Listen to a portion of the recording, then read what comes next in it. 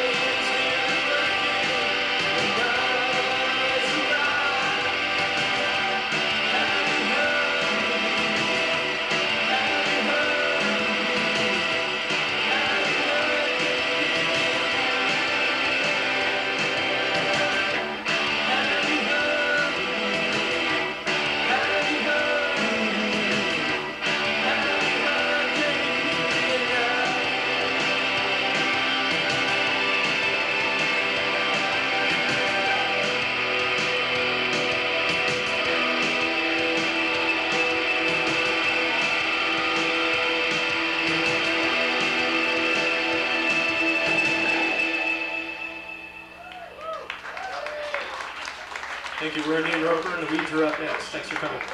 Thanks a lot. Enjoy the weeds up next. Thank you very much.